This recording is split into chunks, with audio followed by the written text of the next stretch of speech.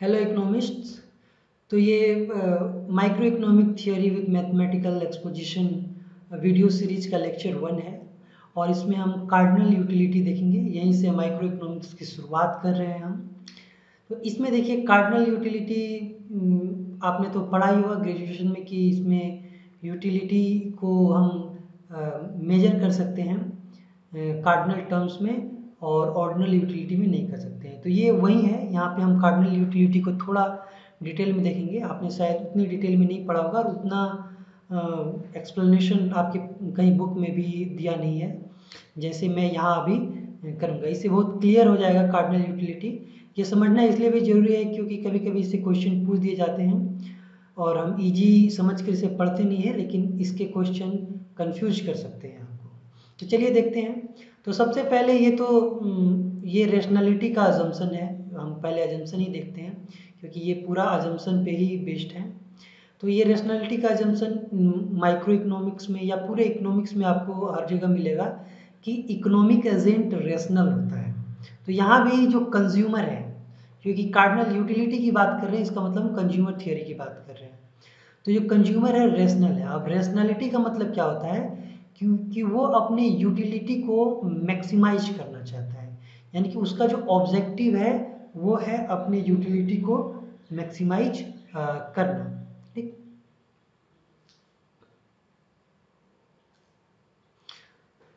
और उसके पास एक कंस्ट्रेंट भी है, वो है इनकम का। यानी कि उसका इनकम जो है, वो गिवन है लिमिटेड है, उससे ज़्यादा वो खर्च नहीं कर सकता। उसी कंस्ट्रेंट को देखते हुए उसे अपनी यूटिलिटी को मैक्सिमाइज करना है। यही कंज्यूमर का ऑब्जेक्टिव है जिसे हम रेशनैलिटी कहते हैं। यानी क्योंकि हमेशा हम चीज़ों को मैक्सिमाइज नहीं करते हैं। कभी कभी हम चाहते हैं कि बस आ, आ, हमें जितना में सेटिस्फेक्शन मिल जाए उतना काफ़ी है। लेकिन यहाँ पे हम अज्यूम करके चल रहे हैं कि हम मैक्सिमाइज करते हैं। और भी बहुत सारे फैक्टर हैं जिसके कारण हम अपनी यूटिलिटी को मैक्सिमाइज नहीं करते हैं। मैक्सिमम यूटिलिटी से कम पर ही रहते हैं। इसलिए एजम्पन हम लेना पड़ता है कि हम मान के चलते हैं कि यूटिलिटी को कंज्यूमर मैक्सिमाइज कर रहे हैं। और दूसरा है कि कार्डिनल यूटिलिटी है ये। मतलब कि इसे हम मेज़र कर सकते हैं यूनिट्स में जैसे कि जो भी काउंटेबल चीज़ें हैं, हम उसे कार्डिनल यूनिट में मेजर करते हैं। जैसे वन टू थ्री फोर यानी कि यूटिलिटी हमें टेन यूनिट मिली ट्वेल्व यूनिट मिली, इसे मेजर कर सकते हैं। ज़्यादा कम की बात यहाँ नहीं है। हम यहाँ डायरेक्टली मेज़र कर सकते हैं कि यूटिलिटी हमें कितनी मिली। जो कि एक्चुअली में जो सेटिस्फेक्शन होता है आपका, उसी को हम यूटिलिटी कहते हैं। वो एक्चुअली मेज़र नहीं कर सकते। कोई मेजरिंग रोड नहीं है उसके लिए। लेकिन फिर भी इस कार्डिनल यूटिलिटी अप्रोच में ये मान के चलते हैं कि यूटिलिटी को हम मनी के टर्म में मेजर करते हैं। जैसे कि कि मनी जो होता है, जैसे अगर आपके पास फिफ्टीन टेन रुपीज़ का कोई कॉइन कॉइन है तो उससे आपको टेन यूनिट या टेन यूटिल यूटिलिटी मिलती है, ठीक? और उसी के कंपैरिजन में हम यूटिलिटी को मेजर करते हैं। इसे ही कहते हैं कार्डिनल यूटिलिटी अप्रोच और दूसरा constant marginal utility of money अब ये अजम्पन बहुत ज़रूरी है। इसके बारे में अभी मैं और आगे बताऊँगा कि क्यों ये अजम्पन बहुत ज़रूरी है। जैसे कि देखिए मैंने कहा कि टेन रुपीज़ का अगर नोट मिले आपको तो उसकी यूटिलिटी टेन है। फिर अगला टेन रुपी का नोट अगर मैं आपको दूँ तो उसकी भी यूटिलिटी क्या होगी? टेन ही होगी। फिर अगला टेन दे दूँ तो उसकी भी यूटिलिटी आपके लिए टेन होगी। तो इसे कहते हैं कि marginal utility of money constant है। ठीक? अब कांस्टेंट नहीं है मतलब वेरिएबल भी हो सकता है। तो वेरिएबल होने का मतलब क्या है? इसे आप ऐसे समझें कि जिसके पास सौ रुपया है, उसके लिए एक रुपये का क्या इम्पोर्टेंस है? और जिसके पास एक लाख रुपया है, उसके पास एक रुपये का क्या इम्पोर्टेंस है? ऑब्वियस सी बात है कि एक रुपया इसके लिए बहुत इंपॉर्टेंट नहीं है जिसके पास एक लाख है, जबकि जिसके पास सौ रुपया है, ये पूरे इसके इनकम का एक परसेंट है। तो इसके लिए थोड़ा इस, इसके रिस्पेक्ट रिलेटिवली इससे ज़्यादा इम्पोर्टेंट है वन रुपीज़ तो इसे ही कहते हैं मार्जिनल यूटिलिटी ऑफ़ अब जैसे कि कोई टेन से ट्वेंटी पे गया तो उसकी इनकम बढ़ गई, यानी उस, इसका मतलब ये भी है कि अब पहले उसके पास टेन रुपीज़ थे तो उसके लिए एक की वैल्यू ज़्यादा थी, अब ट्वेंटी रुपीज़ है तो एक के रुपये की वैल्यू कम हो गई तो ये ऐसा अगर हम करके चले तो इसे कहेंगे कि marginal utility of money vary कर रही है, ठीक? अगर ये वन से कम हो जाती है इसकी यूटिलिटी तो इसका मतलब ये है कि यूटिलिटी वेरी कर रही है। जैसे जैसे इनकम बढ़ रहा है मार्जिनल यूटिलिटी ऑफ़ मनी कम होते जा रही है। यानी हर एक रुपये का वैल्यू हमारे लिए कम होते ठीक। ये, ये लेकिन कार्डिनल यूटिलिटी अप्रोच में हम मान के चलते हैं कि हर रुपये रुपया हमारे लिए बराबर हो चाहे हमारे पास इनकम एक लाख हो या सौ रुपये हो हमारे लिए एक रुपया एक रुपये का इम्पोर्टेंस उतना ही रहता है। हमें एक रुपये से उतनी ही यूटिलिटी मिलती है। तो इसे ही कहते हैं constant marginal utility of money अब देखिए diminishing marginal utility of utility क्या होता है? तो कोई भी कमोडिटी आप जब कंज्यूम करते हैं तो जैसे ही आप ज़्यादा और उससे ज़्यादा कंज्यूम करने लगते हैं तो पर यूनिट जो उसकी यूटिलिटी है वो कम होती जाती है। जैसे अभी मैं मनी के बारे में बता रहा था आपको कि दस रुपये का नोट्स आपके पास है, ठीक है, अगला दस रुपया आया तो आपके लिए दस रुपये की वैल्यू कम हो जाएगी। अगला दस रुपया आया तो कम हो जाएगी। उसी तरह कमोडिटी के टर्म में हम यहाँ पे मान के चलते हैं कि ये जो मार डिमिनिजिंग मार्जिनल यूटिलिटी है, वो एग्जिस्ट करती है। यहाँ यूटिलिटी कांस्टेंट नहीं है, जैसा मनी में कांस्टेंट है। यहाँ क्या है कि जैसे मान लीजिए कि हम एप्पल कंज्यूम कर रहे हैं, उससे हमें 21 यूनिट यूटिलिटी मिल रही है फ़र्स्ट एप्पल में। तो जब हम दूसरा यूनिट ऑफ़ एप्पल कंज्यूम करेंगे तो हमें 21 नहीं मिलेगी 21 से कम मिलेगी। यानी हो सकता है 20 मिले। उसी तरह जब हम तीसरे पर जाएँगे तो हमें हो सकता है 18 मिले, चौथे पर जाएँगे तो हो सकता है 15 मिले, पाँचवें पर हो सकता है कि सिर्फ़ 11 यूनिट ही यूटिलिटी मिले और छठे पे हो सकता है कि हमें सिर्फ़ सिक्स यूनिट मिले और सातवें यूनिट में हमें कोई यूटिलिटी ही ना मिले और आठवें में हमारी यूटिलिटी क्या हो जाए निगेटिव हो जाए माइनस सेवन हो जाए निगेटिव हो जाए।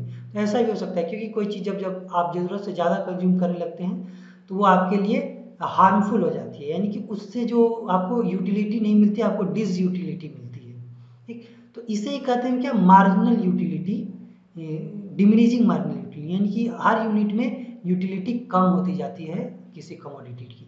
तो इसे डिमिनिजिंग मार्जिनल यूटिलिटी हम कहते हैं। तो ये उम्मीद करता हूँ आप समझ गए होंगे। और फिर देखिए utility depends on quantity consume ठीक? यानी कि यूटिलिटी सिर्फ़ किस किस बात पे डिपेंड करती है? क्वांटिटी पे। अगर आपके पास ज़्यादा ज़्यादा क्वांटिटी है किसी कमोडिटी की तो आपकी यूटिलिटी भी पहले से ज़्यादा होगी होगी। ज़्यादा या कम, जो भी होगी, वो उसके क्वांटिटी पे डिपेंड करती है। अदर फैक्टर जैसे सीज़न हो गया, या फिर सोशल फैक्टर हो गया, या बहुत सारे फैक्टर होते हैं जो यूटिलिटी को डिसाइड कर सकते हैं। लेकिन हम यहाँ मान के चलते हैं कि यूटिलिटी सिर्फ़ एक ही चीज़ पे डिपेंड करती है वो है क्वांटिटी ऑफ़ द कमोडिटी ठीक? तो यही सारे अजम्पन है, जो हम कार्डिनल यूटिलिटी में लेकर चलते हैं। और अब चलिए अब हम देखते हैं कि इतना तो ठीक है, लेकिन कंज्यूमर इसमें का ऑप्टिमम चॉइस इसमें क्या होता है? यानी कि इस इस इस, ये जो हम देख रहे हैं, इसमें डिसीज़न रूल क्या है? मतलब कंज्यूमर कैसे डिसीज़न लेना है, लेता है कि उसे कितनी यूनिट कंज्यूम करना है? तो अब यहाँ देखिए, इस, ये थोड़ा समझने वाली बात है। ये सभी जगह लिखा हुआ है बुक्स में आप कोटसियोनिस की बुक, ये जो मैं पढ़ा रहा हूँ कोटसियोनिस की माइक्रो इकोनॉमिक्स कोटसियोनिक्स की बुक का पेज नंबर फोर्टीन देखेंगे तो उसमें कार्डनल यूटिलिटी थियोरी दी हुई है। लेकिन ये एक्सप्लेनेशन आपको वहाँ नहीं मिलेगा, ठीक? क्योंकि ये मैंने उस, उसमें जो लाइंस लिखी थी, उसे ही एक्सप्लेन किया है कि कैसे कंज्यूमर डिसाइड करता है कि वो कितने यूनिट कंज्यूम करेगा। तो जो बुक में लिखा है, इतना लिखा है कि कंज्यूमर का डिसीज़न रूल यही है कि जो मार्जिनल यूटिलिटी ऑफ़ कमोडिटी है, वो जब प्राइस के बराबर हो जाती है तो वही कंज्यूमर का इक्विलिब्रियम पॉइंट होता है। ठीक? अब जैसे देखिए यहाँ देखिए कि कंज्यूमर अगर फ़र्स्ट यूनिट कंज्यूम करता है तो उसे 21 यूनिट यूटिलिटी मिलती है। और कमोडिटी का प्राइस है फिफ्टीन रुपीज़ यानी आप यहाँ पे जो पी एक्स है फिफ्टीन रुपीज़ मान के चलिए। यानी कि कंज्यूमर अगर कोई एक यूनिट कंज्यूम करता है, ये एप्पल ही है मान लीजिए, कोई एक एप्पल परचेज करता है फ़र्स्ट एप्पल परचेज करता है तो उसे ट्वेंटी यूनिट यूटिलिटी मिलती है। जबकि उसके उसके पास उसकी प्राइस कितनी है? फिफ्टी फिफ्टीन यूनिट यानी कि 15 यूनिट अगर वो अपने पास रख लेता है तो उसे जो यूटिलिटी मिलेगी वो 15 यूनिट होगी। लेकिन अगर वो एप्पल खरीद लेता है तो उसकी यूटिलिटी 21 यूनिट मिल जाएगी। यानी कि यूटिलिटी उसे ज़्यादा मिल रही है तो वो क्या करेगा? वो एप्पल परचेस कर लेगा। इसी तरह दूसरा एप्पल परचेस करने पर उसे 20 यूनिट यूटिलिटी मिलेगी। तीसरे पर 18 मिलेगी और चौथे पर 15 मिलेगी, जो कि उसके, वो जो प्राइस है एप्पल का उसके बराबर है। यानी कि यहाँ यूटिलिटी मार्जिनल यूटिलिटी जो है, वो 15 है और प्राइस भी 15 है। तो इतना ही कमोडिटी कंज्यूमर कंज्यूम करेगा, उससे ज़्यादा नहीं करेगा। ठीक? यही डिसीज़न रूल होता है। लेकिन देखिए, इसमें एक चीज़ आपको समझना है कि ऐसे ऐसे डिसीज़न कैसे ले सकता है? आप तो देखिए, क्योंकि आप जब देखेंगे इसमें तो अगर और कमोडिटी कंज्यूम करे कंज्यूमर फाइव फिफ्थ यूनिट भी कर ले तो उसकी टोटल यूटिलिटी बढ़ जाएगी। उसकी टोटल यूटिलिटी बढ़ जाएगी। जैसा कि मैं आपको यहाँ पर दिखाता हूँ इस टेबल में दिखाता हूँ कि जैसे देखिए, यहाँ टोटल यूटिलिटी क्या हो रही है? टोटल यूटिलिटी बढ़ते जा रही है। ट्वेंटी वन हुआ फोर्टी वन हुआ फिफ्टी नाइन हुआ सेवेंटी फोर हुआ एट्टी फाइव हुआ नाइन्टी वन नाइन्टी वन तो इस तरह से टोटल यूटिलिटी आप क्या देख रहे हैं? ये बढ़ रही है घट नहीं रही है। ठीक? और ऐसा नहीं है कि नहीं, कभी नहीं घटेगी, ये घटेगी लेकिन आप गौर, अगर गौर करेंगे तो आप देखेंगे कि यूटिलिटी घटेगी कब? सेवंथ यूनिट के बाद। ठीक? लेकिन हम क्या बोल रहे हैं कि कंज्यूमर फोर्थ यूनिट ही कंज्यूम करेगा, क्योंकि ये जो यूटिलिटी 15 उसको मिल रही है, ये इसके प्राइस के बराबर है। अगर अगला वो करेगा तो इसकी, उसकी यूटिलिटी एक्चुअली टोटल यूटिलिटी 70 से 85 हो सकती है। हो सकती है, लेकिन फिर भी वो इतना ही कंज्यूम करेगा। अब वो क्यों करेगा, मैं आपको बताता हूँ। ठीक? कि क्यों कंज्यूमर ये ज़्यादा यूटिलिटी यूटिलिटी बढ़ रहा है उसकी टोटल यूटिलिटी फिर भी वो कंज्यूम क्यों करेगा? क्योंकि देखिए, अभी ये मैक्सिमम यूटिलिटी पे पहुँचा नहीं है। अभी वो सिक्स सेवन्थ यूनिट कंज्यूम करेगा यहाँ पर, तब वो मैक्सिमम यूटिलिटी 91 पर पहुंचेगा।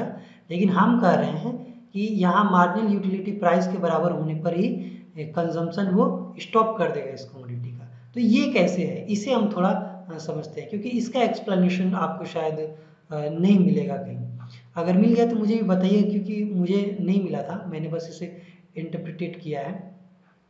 अब देखिए इसमें कैसे डिसीज़न रूल होगा।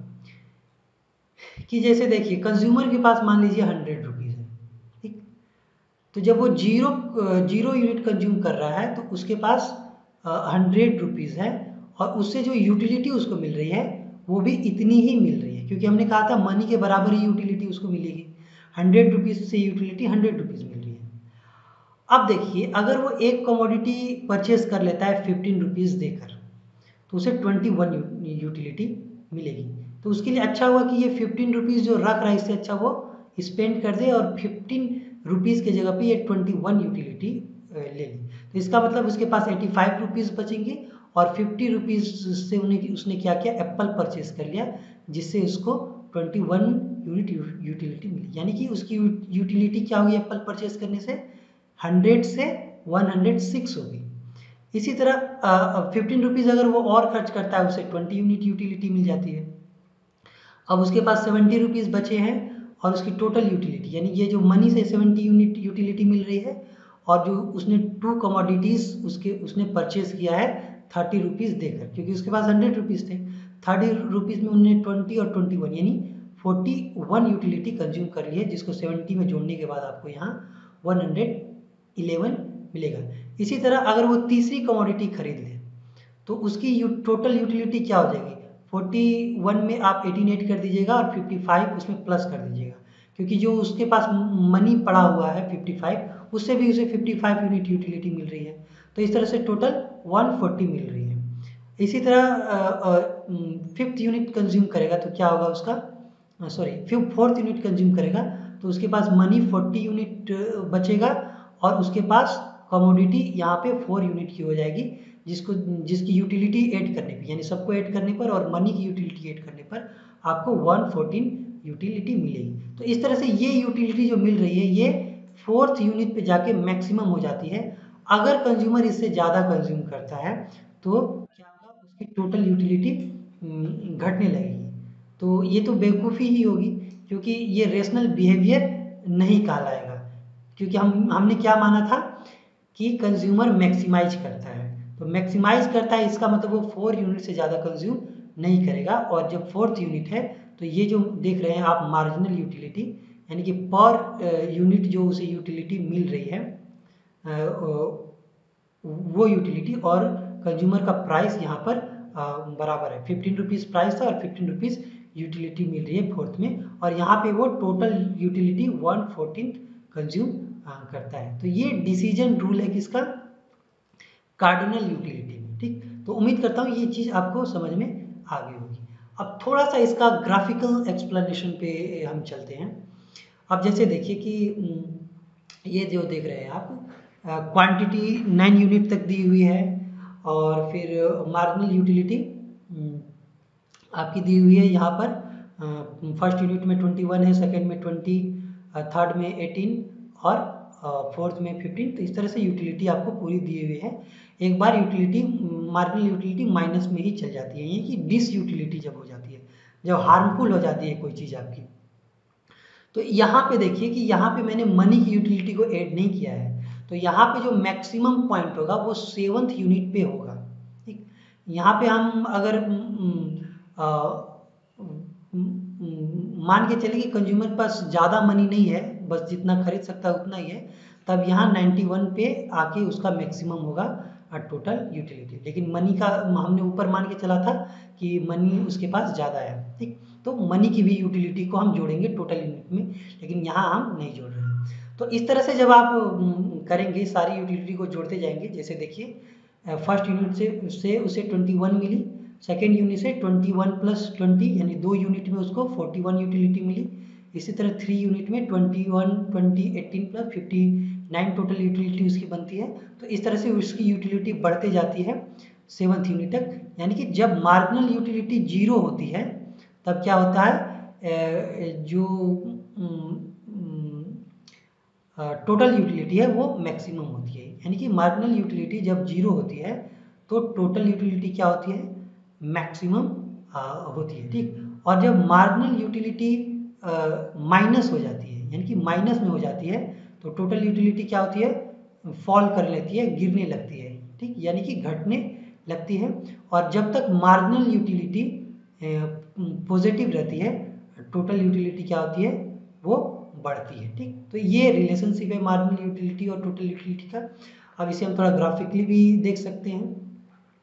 जैसे कि आप इस नीचे वाले ग्राफ में देख सकते हैं कि टोटल यूटिलिटी जैसे जैसे आप यूनिट कंज्यूम कर रहे हैं उस तरह से बढ़ते जा रही है। ये है आपका क्वांटिटी कमोडिटी का one two four six eight ten तो इस तरह से टोटल यूटिलिटी बढ़ते जा रही है और यहाँ मैक्सिमम हो जा रही है कब? नाइन यूनिट पर आने पर, यानी कि नाइन यूनिट यहाँ पर आने पर यूटिलिटी क्या हो जाती है? वो sorry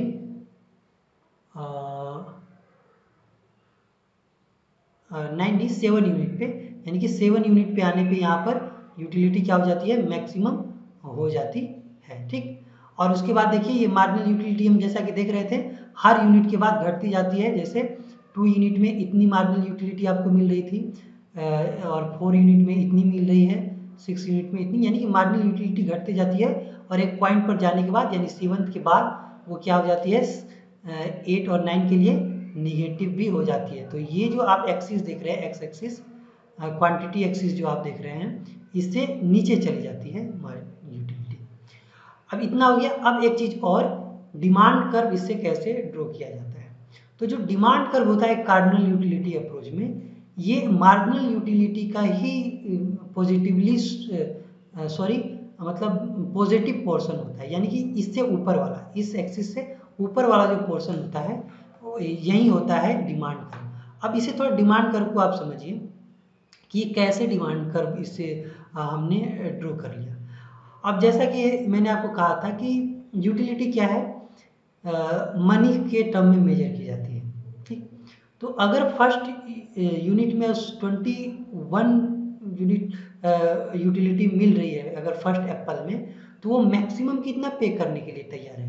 ट्वेंटी वन वो पे करने के लिए तैयार है क्योंकि मनी से भी उसको ट्वेंटी वन यूनिट यूटिलिटी ही, ही मिलती है। तो वो ट्वेंटी वन से ज़्यादा स्पेंड नहीं करेगा। यानी कि अगर एप्पल एप्पल का प्राइस ट्वेंटी वन हो जाए तो वो एक एप्पल ही परचेज करे जैसे कि आप यहाँ देख सकते हैं कि अगर ये प्राइस है अगर एप्पल का प्राइस ट्वेंटी वन हो जाए तो कंज्यूमर एक यूनिट ही परचेज करेगा, ठीक?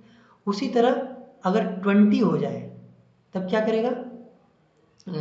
एप्पल का प्राइस अगर ट्वेंटी हो जाए मान लीजिए तो क्या करेगा कंज्यूमर टू यूनिट कंज्यूम करेगा, ठीक?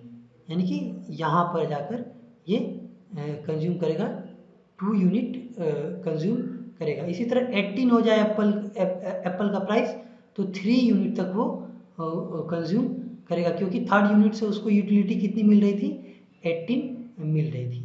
तो इसी तरह करके एक पूरा डिमांड कर्व हम ड्रॉ कर सकते हैं, ठीक? तो यही फंडा है मार्जिनल यूटिलिटी और डिमांड का, कि ये रिलेशन होता है जो मार्जिनल यूटिलिटी का पॉजिटिव पोर्शन होता है। यानी जब तक मार्जिनल यूटिलिटी पॉजिटिव है, वही क्या कहलाता है?